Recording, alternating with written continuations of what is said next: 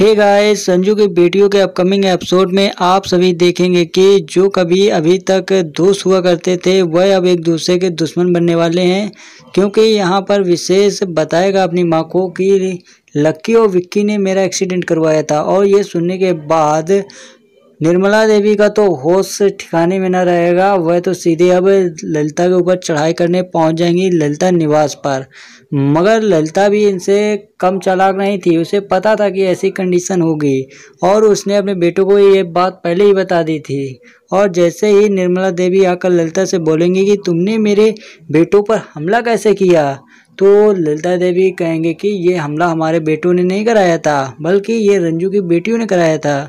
और ये सुनने के बाद और ही ज़्यादा आग बबूला हो उठेंगी निर्मला देवी और वह सालू के पास जाएँगी और उससे कहेंगी कि, अपनी बहन को समझा दो, या तो ये नौकरी छोड़ दे, या फिर जो तुमसे नाता है वह तोड़ दे।